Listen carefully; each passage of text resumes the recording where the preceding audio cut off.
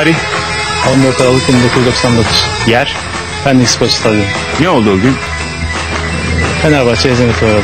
8 yıl önce attığı ve attırdığı muhteşem gollerle Fenerbahçe'ye tarihindeki en büyük hezimetlerden birini yaşatan Mustafa Ateş ve takım arkadaşlarına verilen söz tam 8 yıl sonra yerine getirildi. Mustafa Ateş'in attığı gol durum 2-1 oluyor. Maç günü geldi ve e, birer daire sözü verdi. Bu bizi tabii ki ekstra bir kamçıladı tabii ki maç için ayrı bir motor etti. Kimse inanmıyordu Pendik Spor'un Fenerbahçe'yi eleyebileceğine. O dönem Pendik Spor'un yönetim kurulu üyesi olan müteahhit Mahmut Yılmaz da takımının milyon dolarlık futbolculardan kurulu Fenerbahçe'yi yeneceğini tahmin etmemişti. Hele hele ilk yarının ardından takımı soyunma odasına 1-0 yenik girince tüm ümitler tükenmek üzereydi. Çıkması Metin ve gol. Açıklama yaptı. De tabii herkes birbirine gülerek baktı tabii imalı şekilde. Çünkü 16-20 daire az bir şey değil. E, sonra tekrar kendimizi daha biraz daha motive ettik.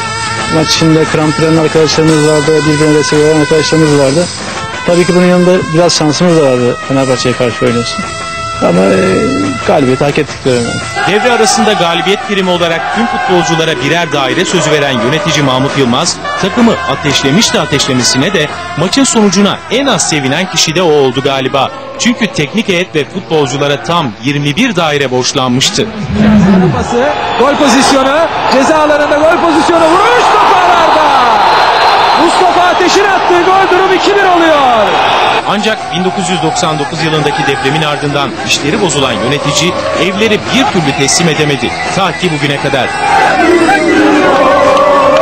8 yıl önceki Fenerbahçe galibiyetinden sonra Pendik Spor'la futbolculara verilen söz 8 yıl sonra yerine getirildi. Arkamda görmüş olduğunuz Pendik Spor apartmanındaki daireler Pendik Spor'un o dönemki futbolcularına dağıtıldı. Maça damgasını vuran Mustafa Ateş ve o dönem Pendik Spor formasını giyen diğer futbolcular 8 yıl sonra gelen galibiyet primlerinin mutluluğunu yaşıyor şimdi.